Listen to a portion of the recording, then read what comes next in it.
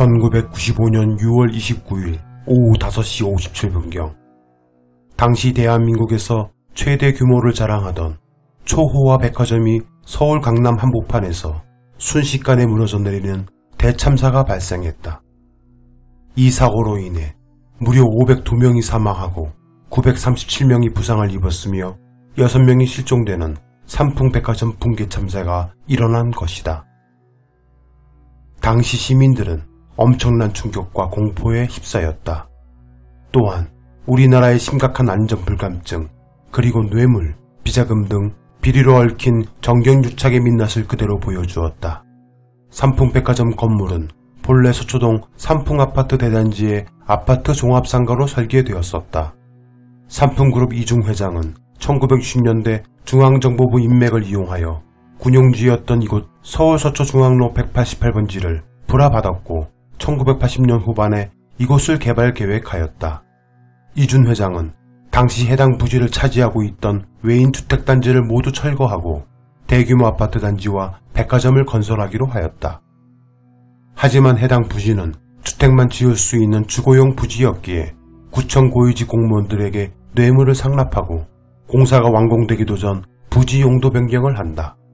당시 공사를 맡은 시공사 우성건설은 붕괴 위험성을 이유로 증축을 거부하였는데 삼풍그룹 이준 회장이 우성과의 건설 계약을 파기해버리고 자사계열 삼풍건설 산업에게 총 지상 4층으로 설계된 건물을 불법으로 무리하게 한 층을 더 올려 5층으로 만들면서 5층 외벽에는 철골 시공조차 하지 않는 등 정밀한 구조 진단 없이 부실공사로 만들라고 지시했던 것이다. 그것은 비극의 씨앗이 되었다. 삼풍그룹 이름을 딴 삼풍백화점은 1989년 12월 개업 당시 소공동 롯데백화점에 이어 전국 2위에 해당하는 규모였으며 각종 명품 브랜드를 대거 입점시키며 초호화 쇼핑몰 컨셉으로 출발했다. 강남 부유층이 주 고객이었던 삼풍 백화점은 강남의 부와 특권을 상징했다. 그러나 그 화려함의 이면에는 부패와 비리와 탐욕이 자리하고 있었다. 그렇게 1989년 지어진 후 6년간 버텨왔던 삼풍 백화점이 사고 몇 달 전부터 이미 균열 등 붕괴 조짐을 보여왔고 사고 당일 오전부터는 건물 곳곳이 갈라지고 천정이 내려앉기 시작했으며 사고 당일 백화점 안에는 천여 명의 사람들이 있었는데도 이준 회장과 경영진들은 영업을 그대로 강행했다. 그리고 붕괴 17분 전인 오후 5시 40분경 건물 붕괴 조짐을 보고하는 시설 부장의 다급한 전화에 이준 회장은 임원회의를 중단하고 고객들에게 대피해라는 안내 방송도 없이 자신들만 백화점을 몰래 빠져나갔다. 마침내 오후 5시 57분경 쾅 하는 굉음과 함께 삼풍백화점 건물은 순식간에 무너져 내렸다. 건물이 완전히 무너져 내리는데 걸린 시간은 단지 20여 초 뿐이었다. 무려 502명이 죽었다. 실종자까지 합치면 희생자는 더 늘었다.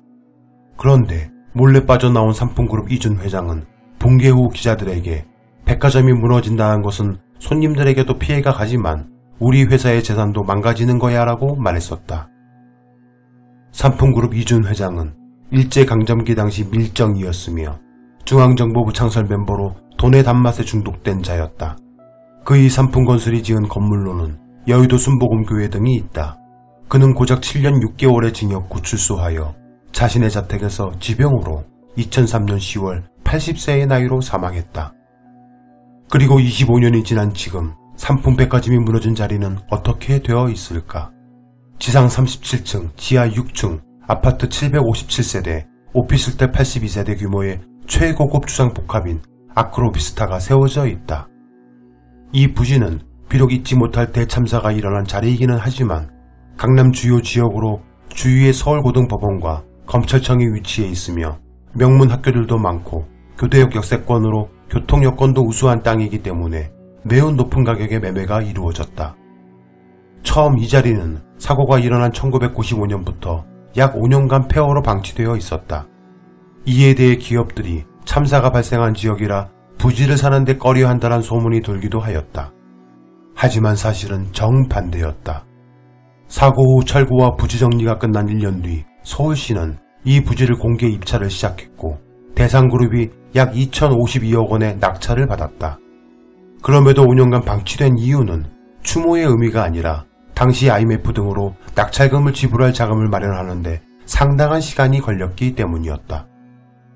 이후 대상그룹은 1999년 8월 낙찰금과 지연금을 완납하고 2001년 서초 아크로비스타를 착공하기에 이른다. 아크로비스타는 101에서 242제곱미터 40에서 100여 평대의 대형으로만 구성된 단지로 강남권 최고급 주상복합으로 꼽힌다.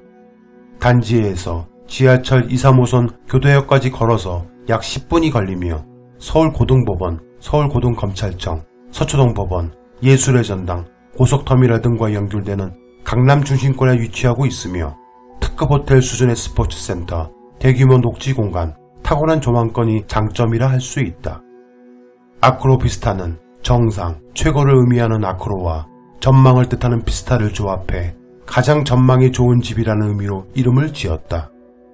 최근 국토부 실거래가 시스템 주간계약 분석에 따르면 아크로비스타 전용 174.78제곱미터는 23억 1천만원으로 주간 최고 실거래 1위 아파트에 올랐다. 청약 당시 약 32대 1의 경쟁률을 선보였던 약 757세대에 이르는 이곳에 과연 누가 살고 있을까? 열린공감TV가 취재해본 결과 정확한 통계를 낼 수는 없지만 상당수의 법조인들이 살고 있는 것으로 나타났다. 많은 세대주가 전관 변호사 등 상당 재력가들이 살고 있으며 현직 판사, 검사 등도 살고 있는 것으로 파악됐으며 유명 정치인 등도 살고 있다고 한다. 그중 단 14가구만 살고 있다는 펜트하우스 94평형은 분양가가 22억 정도 했는데 현재는 실거래가가 50억이 넘는다고 한다. 그중 한 세대의 대한민국 검찰총장이 살았었다. 윤석열 검찰총장은 2012년 3월에 김건희 씨와 결혼했다. 당시 김건희 씨는 윤석열 총장이 수중에 총 재산이 불과 2천만 원밖에 없을 정도로 가진 것이 없었고 결혼 후 재산이 늘기는커녕 오히려 까먹고 있다고 했다.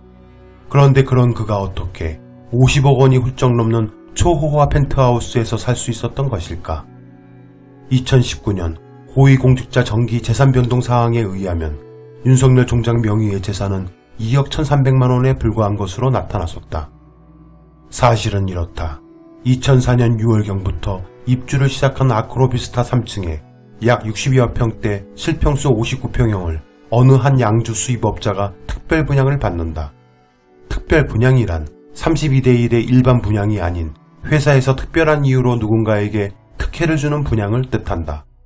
생애 최초 또는 일정한 입주 자격을 갖춘 사람이 받는 일반적으로 알려진 특별 분양은 아닌 것 같다. 그 양주 수입업자에게는 지인이 있었는데 그가 당시 창원지검 진주지청장으로 있다가 서울남부지방검찰청 차장검사를 거쳐 서울고등검찰청에서 근무했던 검사 양재택이었다. 양주 수입업자 전상은 씨는 이 아파트 분양권을 현 검찰총장 처인 김건희 씨의 전 이름인 김명신에게 매매하여 넘긴다. 당시 이 아파트는 제1은행에 6억이 설정되어 있었는데 김명신이 채무 승계하여 매매를 완료하였다. 양재택과 김명신 둘은 이 아파트에서 동거를 한 것으로 알려졌다. 당시 양재택 검사는 유부남이었다. 처와 자녀는 해외에 살고 있었는데 본처에게 석연찮은 해외 송금을 여러 차례 한 것이 나타났는데 김명신의 엄마이며 현 검찰총장 윤석열의 장모인 최은순 씨가 거액을 송금한 것으로 드러났다. 당시 윤 총장 장모 최은순 씨는 정대택 씨와의 송사로 분쟁 중이었다. 이 일로 사건을 유리하게 끌고 가기 위한 뇌물성이 아닌가 하는 합리적 의심을 받았다. 정대택 씨는 최은순, 김명신, 양재택 3인을 2008년 10월경 뇌물 공여 및 뇌물 수수 등으로 형사 고소했다. 그러나 2010년 증거 불충분 불기소 처리됐다. 알선수재죄는 공소시효가 도과됐고 변호사법으로는 공소장이 없다란 이유와 직무 관련성이 직접적으로 없다란 이례적인 이유로 모조리 기각되었다. 외화 송금서까지 모두 증거로 제출하였음에도 사건은 덮였다. 2008년에 고소한 사건이 무려 2년이나 지난 2010년까지 끌고 가면서 모조리 항곡기각 불기소 처분했던 것이다. 항곡기각 이후에는 양재택 검사의 해외 체류 중인 처와 자녀들에게 생활비 및 학자금 용도로 지인관계로서 단순 금전 거래를 한 것으로 판단했다. 그러나 양재택 검사는 KBS 창이란 프로그램에서 아들 치료비 명목으로 송금을 부탁했었다고 말했다. 이 사건 항고기각 당시는 김명신 씨가 양재택 검사가 해당 사건 등 여러 가지 일로 검사 옷을 벗자 당시 대검찰청 중수과장이었던 윤석열 검사와 동거를 할 때였다. 어떻게 이런 일이 가능한지 이번 대검 국감에서 국회의원들은 해당 사건에 대해 철저하게 교명해 줄 것을 촉구한다. 여하간 김명신 씨는 2008년 10월에 김건희로 개명을 하였다. 어떤 이유에서인지 삼성전자가 양재택 검사와 동거했던 이 아파트를 약 7억 전세권 설정해준다. 그리고 김명신에게 김건희로 개명한 그녀와 윤석열 검사는 삼성전자가 전세권 설정해준 돈 7억과 본인 돈 1억 5천을 보태 같은 아파트 17층 펜트하우스에 8억 5천의 전세로 들어간다. 아크로비스타 펜트하우스는 총 14가구만 사는 최고급 럭셔리 아파트이며 분양가만 22억이었고 현재 실거래가는 약 50억에 달한다. 2008년 당시 전세가만도 20억 가까이 하던 펜트하우스를 어떻게 8억 5천의 전세로 들어가 살 수 있었던 것일까? 아무리 이해해 보려 해도 무엇인가 합당하고 타당성 있는 계산이 되질 않는다. 윤석열 검사는 결혼 후 1년 뒤인 2013년 중앙지검 특수부장으로 근무한 지 6개월 만에 여주지청장으로 이동됐다. 고위공직자가 어떠한 조건의 성사를 조건으로 청탁을 받고 일이 완료된 후 뇌물을 받기로 했다면 일이 진행되는 기간 동안 꾸준히 과다 신고를 해야 서류상으로 갑자기 재산이 엄청나게 늘어나는 일을 막을 수 있기 때문에 이 부분을 방지하기 위해 재산 과다 신고를 막는 규정이 있는 것인데 하필 2013년에 부인 김건희 씨는 아파트를 구입하면서 4억 5천만 원을 담보 대출 받았는데 이 채무를 신고하지 않아서 결과적으로 과다 신고한 것으로 드러나기도 했었다. 그리고 언제인지는 정확히 알 수 없으나 2014년 대구고검, 2016년 대전고검을 거쳐 최순실 등 민간인에 의한 국정농단 의혹 사건 규명을 위한 특별검사실 수사팀장으로 화려하게 복귀할 즈음 이들 부부는 아크로비스타 3층 본래의 집으로 다시 내려간다. 양재택 검사와 동거했었던 바로 그 아파트에서 현재까지 윤석열 김건희 부부는 살고 있는 것이다. 윤석열 검사는 이곳에서 서울중앙지검 검사장을 거쳐 제43대 검찰총장에 오른다. 아크로비스타에는 현직 고위 검사, 판사 등이 살고 있다. 그리고 주민들로 500대 기업 대표이사 및 임원들도 많이 살고 있는 것으로 알려져 있다. 그중 검사의 봉급은 2019년 개정 검사 월급표에 의하면 검찰총장에 해당하는 18호봉쯤 되어야 월급이 817만원 정도이다. 검사 평균 10호봉 월급은 약 600만원 정도인 것으로 나타났다. 그들이 순수 월급만으로 매매가 20여억 원이 훌쩍 넘는 이 아파트에 살려면 한 푼도 쓰지 않고 꼬박 30년을 모아야 하는 것이다. 낡고 오래된 강남권 아파트를 구매하고 자신은 초호화 대형 아파트의 전세로 살며 부동산 3법 등으로 최대 수혜자 중 한 명으로 꼽히고 있는 국힘당 주호영 원내대표도 2009년 아크로비스타 165제곱미터 50평형대에서 전세를 살다 6년 뒤 용산 대우월드 마크로 거처를 옮기기도 하였다. 삼풍백화점이 무너지고 지은 아크로비스타는 500여 명의 원원이 자주 목격된다는 괴담이 끊이지 않는 곳이기도 하다. 삼풍백화점 붕괴 후 이 부지에 공원 등을 조성해 참사 희생자들에 대한 추모 장소가 되어야 한다는 여론도 많았지만 상업적 가치가 높은 부지를 당시 서울시는 그냥 포기할 수 없었던 모양이다.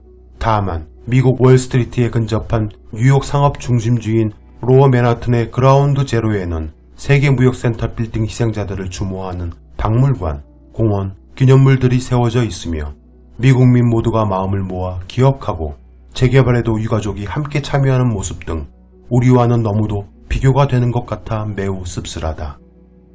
삼풍백화점 붕괴로 아직도 시신조차 찾지 못한 6명의 실종자가 있다. 아크로비스타에는 누가 살고 있는 것일까?